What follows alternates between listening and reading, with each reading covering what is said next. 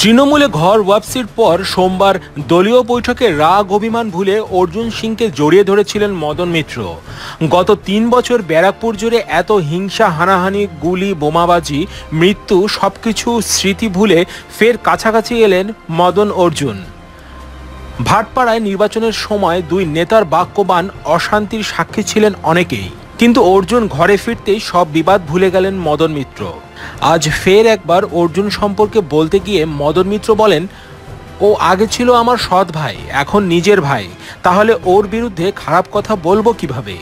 ব্যারাকপুরের সাংসদের ঘরে ফেরা প্রসঙ্গে মন্তব্য করতে গিয়ে কামারহাটির বিধায়ক মদন মিত্র বলেন, অর্জুনের একটা কথা আমার খুব ভালো লেগেছে। ও বলেছে, আমার কিছু ভুল হয়েছে। এটাই তো আসল কথা। ও তো বহিরাগত নয়। এভাবে পুরনো বিবাদ ভুলে অর্জুন সিংকে তৃণমূল কংগ্রেসে স্বাগত জানালেন মদন মিত্র। পাশাপাশি মদন মিত্র জানান, বিজেপির হাতে তৃণমূলের যারা খুন হয়েছে, তারা অনেকে অর্জুনের তৃণমূলে যোগদান মেনে নিতে পারেনি। অর্জুন সিং খুন করেছে এমনও প্রমাণ মেলেনি। তাও অনেকের দুঃখ হয়েছে, শুধু আমরা এটুকুই চাই, আর যাতে কোনো খুনোখুনি না হয়।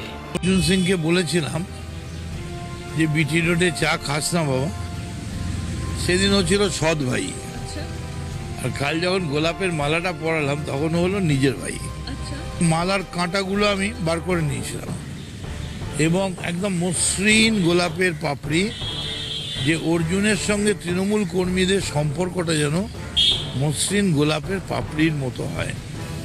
অর্জুন সিংকে নিয়েছে আমার দলের নেতা। তো আমি দলের একজন সামান্য ক্রীড়নক আমি একজন কর্মী। দল যাকে নিয়েছে সাত পাঁচ মন্দ ভেবেই নিয়েছে। দল বলেছে অর্জুন শত্রু, লড়াই কর, লড়াই।